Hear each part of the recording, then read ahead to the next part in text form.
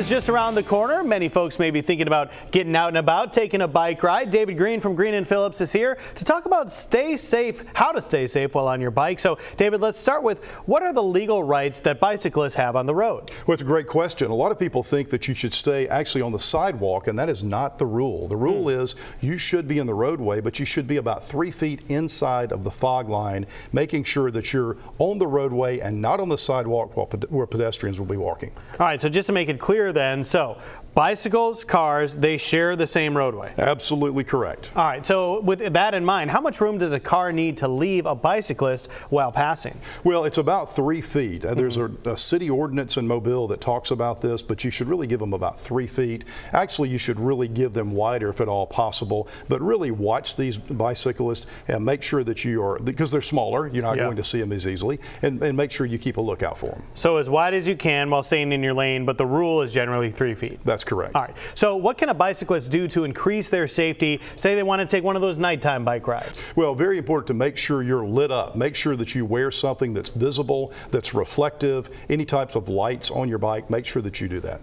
So do you actually see these types of cases frequently where it's a car versus a bike? Well, absolutely. This happens, and, and, and every time it does happen, it's a major, major injury. We've got several of these accidents uh, that we're working right now. Uh, actually, a local guy that's a very good friend of mine, a neighbor of mine, was struck. Mm. Uh, hmm. very serious injuries, and we're actually working that case up now. So it does happen. You need to make sure that you seek, seek treatment, talk to the authorities, and see a doctor. All right, so if the folks at home who are watching right now have a question, how can they contact y'all at Greene and Phillips? It's very simply 300 2000 or come by 51 North Florida Street. You never need an appointment at Greene and Phillips. All right, thanks a lot, David. Thanks for inviting me over.